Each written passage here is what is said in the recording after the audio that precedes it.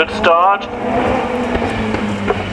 Squirts it into kennel. Yeah, I thought it was a kennel there by the looks of it. And, uh, he towed down the last run off just the last weekend that he won. 99 S approach speed. Uh, so, bottom S time 20